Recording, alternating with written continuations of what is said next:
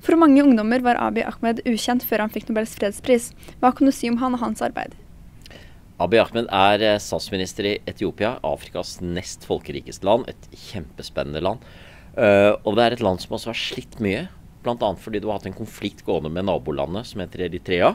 Og fordi det har vært mye uro internt. Og da Abiy ble, som vi ofte kaller ham, da, det er den tradisjonen man har der nede, at når man tiltaler noen, så tiltaler man ham med eh, hans tittel, statsminister, og så hans første navn, statsminister Abiy. Han har virkelig utgjort en forskjell. For da han ble statsminister våren 2018, så tok han først initiativet til å få til en fredsavtale med Eritrea. Det var ting som lå på plass allerede, men det var ikke blitt fullført. Det fikk han til.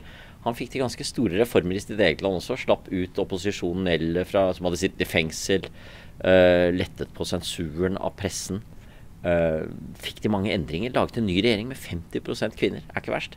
Og i tillegg så har han deltatt i fredsprosesser i hele regionen sin i det nordøstlige Afrika. Så han har gjort mange av de tingene som ligger i sentrum av Nobels fredspris. Og Da er det kanskje bare fint at vi i vår del av verden blir litt minnet om hva som skjer i andre deler av verden.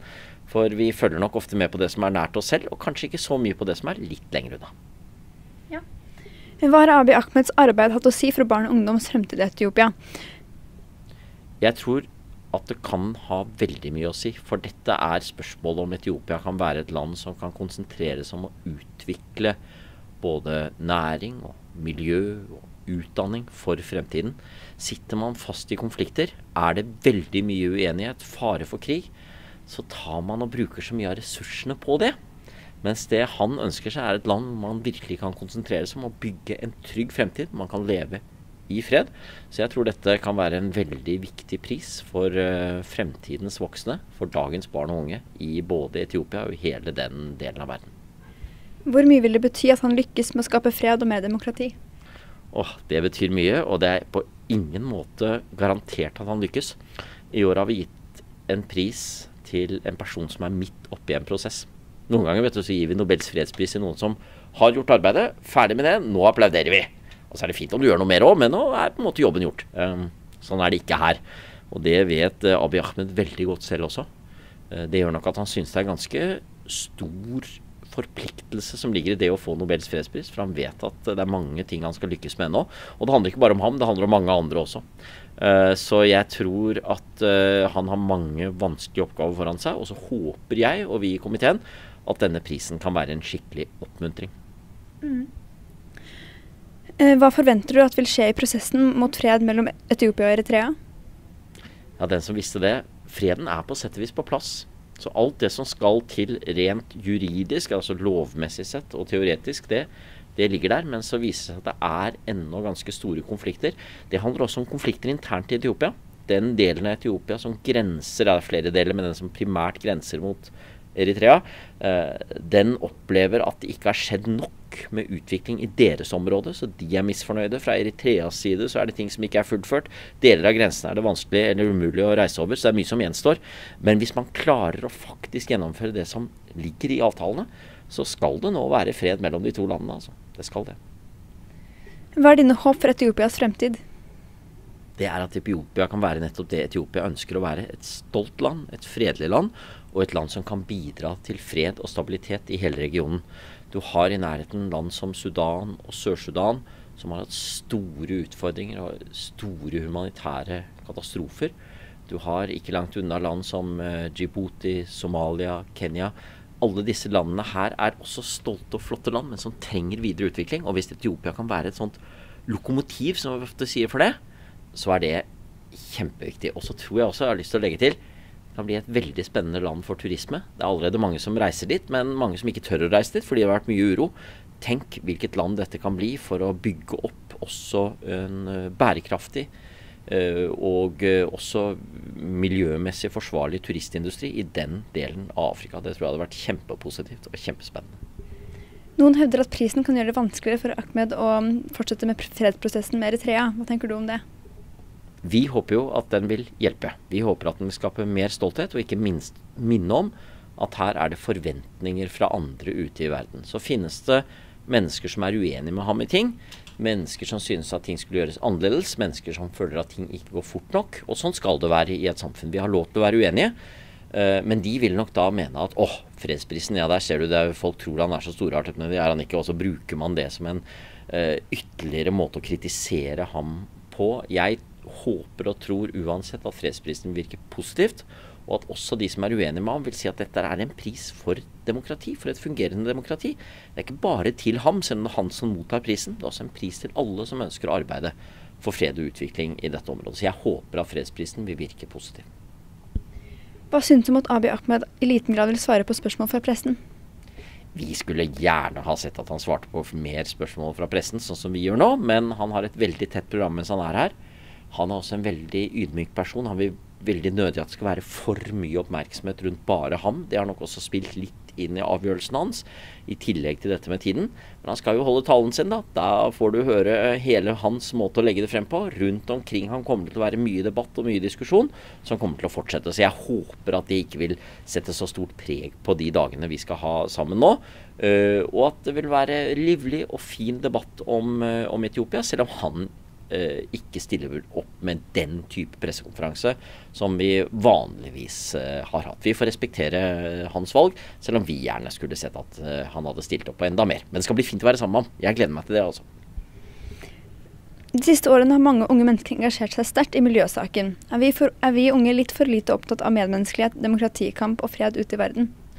Jeg håper at de tingene går hånd i hånd. Det er interessant når det gjelder Abiy Ahmed, for han er veldig opptatt av å understreke bærekraft og miljø som del av det Etiopia er nødt til å ta på alvor. Jeg tror ikke det er noen motsetning mellom det på den ene siden og det å være opptatt av fredsbygging og medmenneskelighet på den andre. Eh, men det er morsomt at du stiller spørsmålet sånn som du gjør, for det er klart at vi skal hele tiden stille oss selv spørsmål.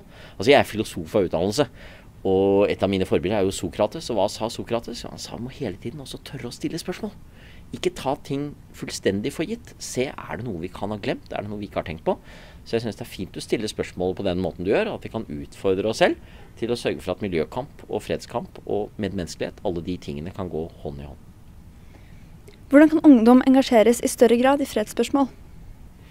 Det tror jeg vi kan gjøre både i hverdagen, gjennom hvordan vi er mot vennene våre, hvordan vi tenker, hva som er menneskesynet vårt, hva slags forbilder vi har. Jeg tror vi kan engasjere oss gjennom organisasjoner vi allerede er med i, sånn som dere gjør. Ikke sant? Altså Noen må være med gjennom skolearbeid. Folk er med i idrett eller kirke eller i livssynsorganisasjoner eller andre frivillige ting. ikke sant? Hvordan kan du engasjere deg og bruke de organisasjonene og de arenaene som utgangspunkt for også å arbeide med større fredsspørsmål? Og så er det jo gjennom rett og slett å være opptatt av verden. Da Da blir man nysgjerrig. Da tenker man ah, dette er spennende, og en dag skal kanskje jeg reise til Etiopia eller Kongo eller Tunisia eller Myanmar og være med og bygge noe sammen med menneskene der. Interesse og nysgjerrighet er ofte utgangspunktet. Nobelkonserten var noe som tiltrakk ungdom, og nå er denne historie. Hva kan dere i Nobelkomiteen gjøre for, for å engasjere ungdom? Vi må gjøre så godt vi kan. Jeg er glad for at du nevner konserten, for vi var jo stolt av den. Så endrer tidene seg har vist seg å være vanskeligere å få reklame og sponsorer og sånt nå. Så de som hadde ansvaret for å arrangere det, måtte, måtte legge inn årene og, og, si at dette klarte vi ikke å få til innenfor de rammene som var. Sånn, sånn er det. Men vi skal få til andre ting. Eh, akkurat i år ble det vanskelig, men jeg kan love deg at i årene fremover skal vi jobbe med å gjøre disse dagene så fine som mulig. Eh, og det handler også om å engasjere ungdom. Så håper jeg at ungdom føler seg engasjert i prisen, også det som skjer i rådhuset når man ser det på TV. og Eh, at det er ikke nødvendig med en konsert for å bli engasjert. Eh, vi har også et kjempefint samarbeid med Redd Barna, som vi hvert år arrangerer et fint barnearrangement sammen med. Eh, så jeg håper at fredsprisen i seg selv engasjerer, uten nødvendigvis arrangementer som er spesielt rettet mot ungdom. Men det er et fint spørsmål, og jeg kan love deg at det er noe vi tar på høyeste alvor. Abiy Ahmed er fredsprisinner nummer 100. Hvem er din favoritt blant alle vinnerne? Åh, jeg tør ikke å peke på noen. For hver gang jeg sitter og leser historien om nobelprisen, så finner jeg et navn og jeg tenker åh, så spennende. Oi, det er fantastisk. Kanskje noen jeg nesten har glemt fikk prisen. I dag var jeg sammen med noen studenter fra USA som er i Oslo fordi de er så opptatt av fredsprisen.